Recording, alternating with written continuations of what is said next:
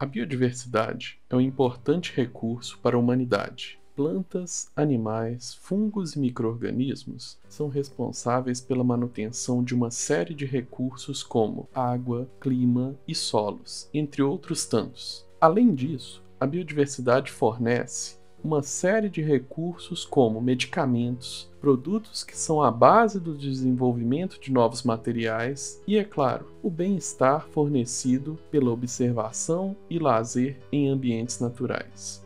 Apesar desses e de outros motivos para a conservação da biodiversidade e de ambientes naturais, diversas atividades realizadas pelo homem levam à perda de biodiversidade e à destruição de paisagens naturais. Uma das medidas para se preservar esse precioso recurso, a biodiversidade, é a delimitação de unidades de conservação e áreas prioritárias para conservação. A delimitação de áreas prioritárias para conservação não é uma tarefa simples, uma vez que a biodiversidade não pode ser medida por uma única métrica, como, por exemplo, o número de espécies que existem em um determinado local. Alguns locais podem apresentar poucas espécies, mas essas podem ser extremamente raras e únicas. Assim, perder locais que abrigam espécies únicas pode representar uma perda de espécies para sempre, e mais do que isso, pode representar uma perda de uma linhagem evolutiva para sempre, e essa linhagem pode guardar recursos únicos que a humanidade nunca mais poderá recuperar.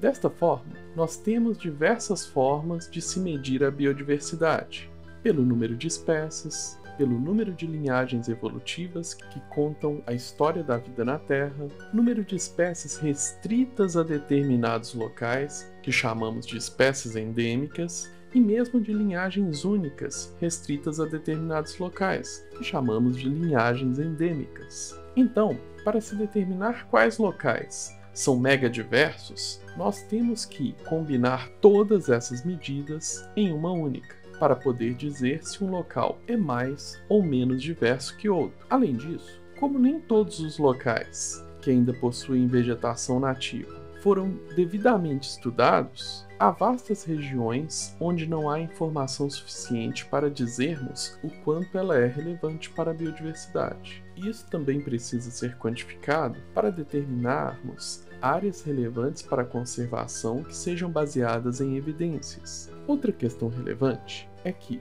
como podem existir conflito entre atividades humanas, a conservação da biodiversidade e de paisagens naturais, é necessário que possamos otimizar a escolha dessas áreas, identificando áreas menores que abriguem a maior parte da biodiversidade. Com tudo isso, fica claro que otimizar todas essas questões para identificar áreas hiperdiversas não é uma tarefa simples. Qualquer forma de escolha pode levar a um resultado que não seja o ideal. A nossa questão central era como encontrar a melhor solução para identificar áreas que apresentem o maior número de espécies, o maior número de linhagens evolutivas, o maior número de espécies endêmicas, que são restritas a um determinado local, maior número de linhagens evolutivas endêmicas, em áreas que foram bem estudadas e na menor proporção de área possível. Assim, para tentar solucionar esse problema, nós realizamos uma pesquisa com a biodiversidade do Brasil utilizando técnicas computacionais para resolver esse problema de otimização.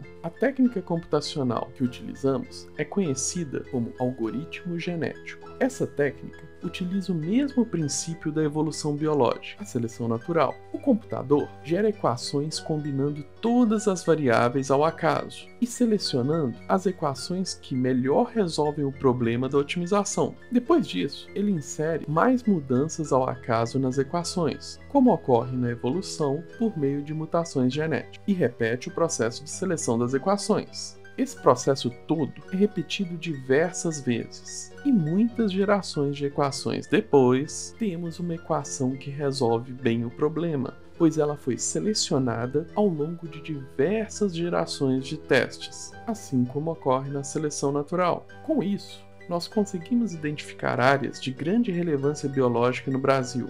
Essas áreas já foram estudadas suficientemente para que possamos dizer que apresentam uma mega diversidade. Outras áreas não são tão bem estudadas, no entanto, apresentam uma diversidade tão grande que já é possível afirmar que também apresentam uma enorme relevância para a conservação. Outro resultado muito importante que encontramos é que se nosso estudo tivesse sido realizado levando em conta apenas alguns grupos de organismos, como por exemplo plantas ou vertebrados ou artrópodes, apenas, o estudo não conseguiria identificar corretamente as áreas megadiversas para todos os grupos. Isso mostra que não podemos tirar conclusões sobre a conservação da biodiversidade baseando-se apenas em alguns grupos de organismos. É necessário estudos com a maior parte possível da biota, pois cada organismo apresenta um padrão distinto de distribuição.